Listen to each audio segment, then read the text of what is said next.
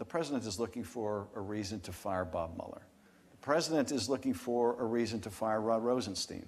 The bigger concern I have right now is for Rod Rosenstein. Uh, this has been true for me for some time. And why Rod Rosenstein and not Bob Mueller? The White House knows it would face a firestorm if it fired Bob Mueller. What's more effective is to fire Bob Mueller's boss. Now, why is that more effective?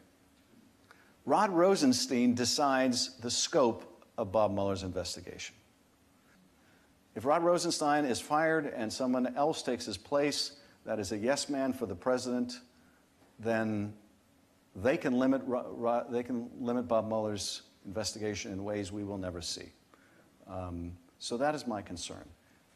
What the Republicans in Congress ought to be doing in the exercise of their constitutional responsibilities is not making it easy for the President of the United States to interfere with the administration of justice, um, but standing up for our system of checks and balances. They ought to be speaking out right now and saying firing Rod Rosenstein or firing Bob Mueller would be an act of obstruction of justice that will bring down this administration. Don't go there. But instead, what they're doing is saying the FBI is corrupt, the department is corrupt, uh, and if you fire anybody, we're going to roll over.